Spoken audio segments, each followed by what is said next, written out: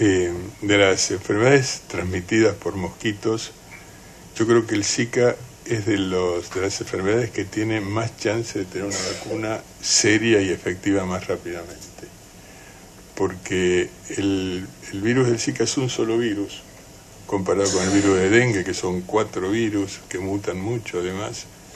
Eh, y yo creo que el Zika tiene buenas chances en un plazo no muy prolongado, cuatro o cinco años, en que exista una vacuna.